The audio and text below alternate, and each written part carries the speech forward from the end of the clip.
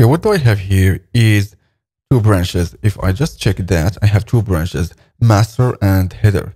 But I decide that the modification that I add, let's just first go to the header branch. I decide that the modification that I add into the header, which is the header.css file, and some code within the index.html, which is that HTML tag header. Let's just check that index.html. So this header that I already add within the header branch, I want to add all of that into the master because I decide this is this is a feature that I want to use. Okay, now let's just, but first I need to switch into master. Okay, now I'm within the master. Then I need to merge the header modifications into the master.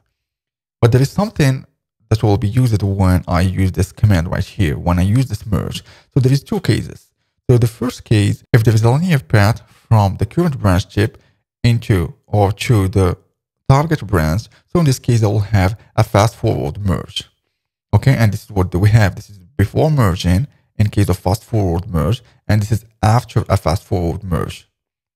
But in the opposite, if we don't have this linear path from the current branch tip to the target branch, you will be forced to use the three-way merge. We don't, we don't do that manually. Merge will define that why why will you use and the, the difference between the three-way merge and the fast-forward merge is this three-way merge will use a dedicated commit to tie together the two histories.